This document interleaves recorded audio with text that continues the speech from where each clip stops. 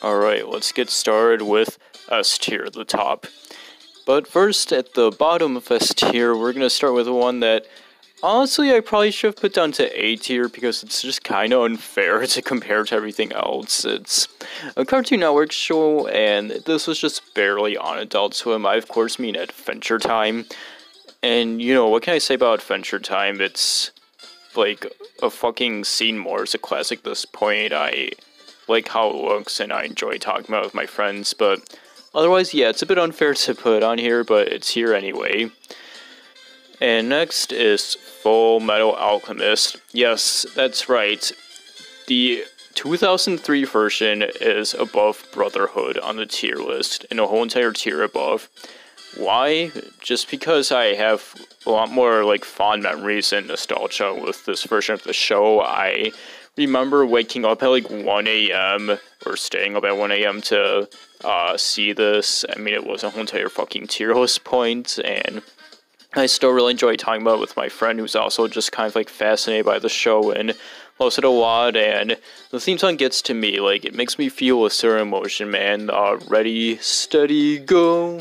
They don't say it like that. They're more like, it goes, he okay, they don't say it like that either. Um, but you get the point. They're like, ready, steady, go. Oh, please trust me. There we go.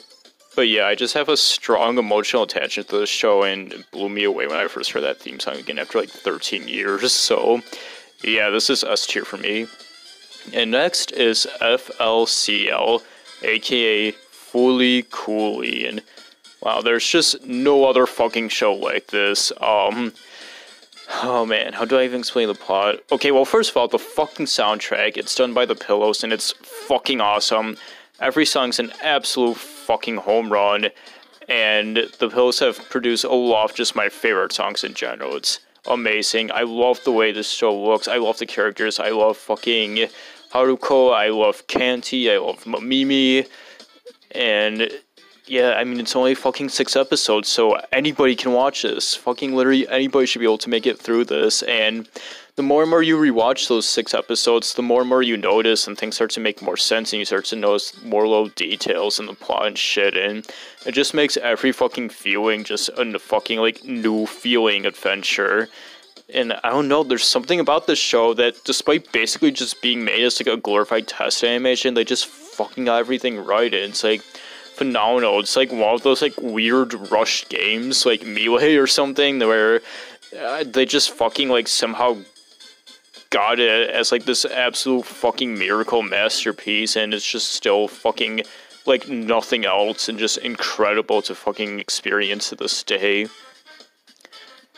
Neon Genesis Evangelion, or Jillian? But like it's fucking NGE. What can I fucking say? Like this is an absolute fucking old masterpiece of a series. It's so fucking iconic. It's had a huge impact on culture and shit and this just captures a tone like no other but super fucking subtly of just like kind of like dread and depression but not to a point where it's like so fucking suffocating like a lot of these shows still feel like empty which makes sense if half of the population was eliminated.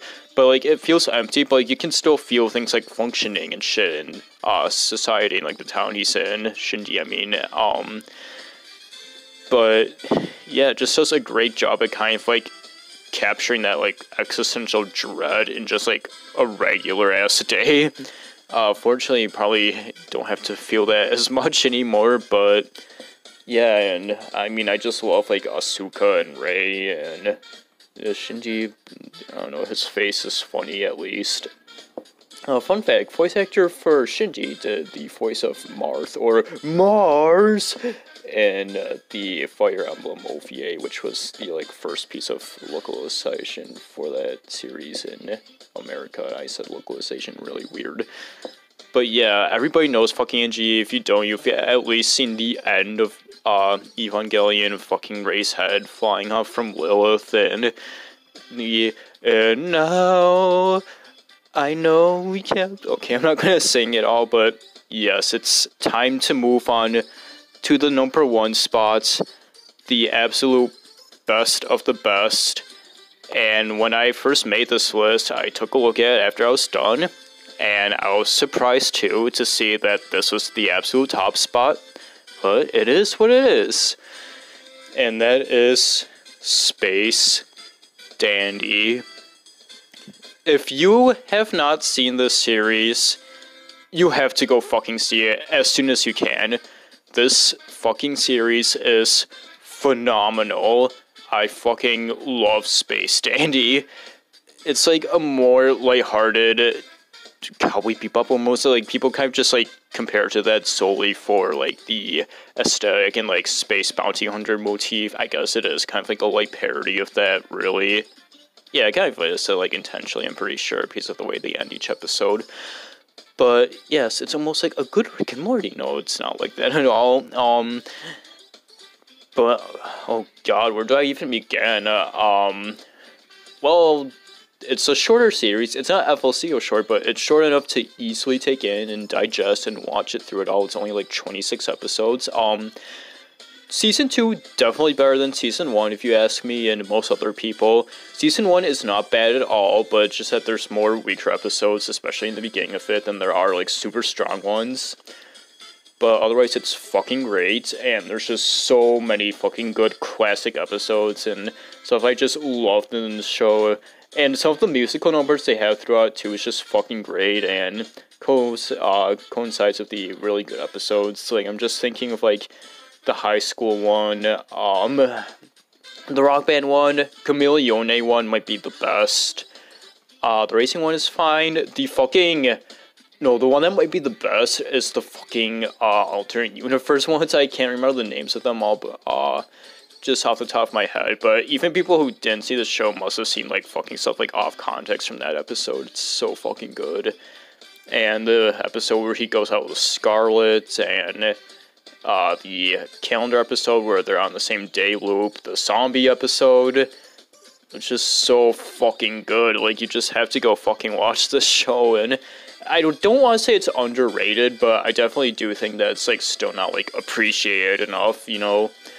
And I just recently got my best friend who watched this like a month ago, and he fucking really liked it, especially season two. And yeah, you all should go watch this too. And just thinking of that, and I guess also just making this list at the right time, just made me have to fucking put Space Dandy at the top. Like it was an easy S tier already, but it just got put uh, to the top of S tier for me for just both being such a great fucking show and also just meaning a lot between me and my friendships, and yeah, it's just fucking fantastic. And that's like ultimately why I want to like make this like type of tier list and stuff. It's just to say like, okay, what am I closest to? What do I like the best? What do I like sharing with my friends the most? And yeah, that's what ultimately just like diagnoses off the higher tiers and what makes doing this so fun and stuff and what's the best part looking forward to this one starting at like the bottom and stuff and